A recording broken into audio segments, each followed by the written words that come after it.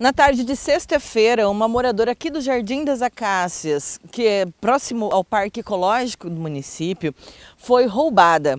Ela teve a sua caminhonete roubada, uma Hilux branca, quando saía de casa.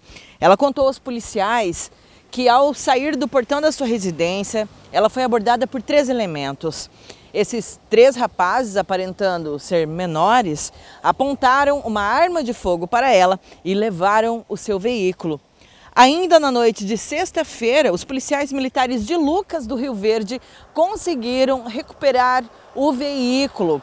Os menores estavam no município de Lucas do Rio Verde. Eles foram apreendidos com o veículo e também com um simulacro de arma de fogo que foi utilizado para levar a caminhonete. Nós mobilizamos as equipes policiais aqui de Sorriso, bem como em toda a região, onde policiais militares de Sorriso, Lucas e toda a região é, armaram, prepararam um cerco né, para esse veículo que foi roubado. É, contamos também com o apoio do Ciopaer e Cavalaria de Mutum e demais unidades aí que estão integradas aí na operação Ordem Pública. Momento em que a equipe policial de Lucas do Rio Verde conseguiu êxito em fazer a abordagem da da caminhonete roubada aqui e fazia apreensão de três menores de idade que haviam praticado o crime. Ao serem abordados, os menores relataram aos policiais militares que eles trocariam a caminhonete na Bolívia por entorpecente.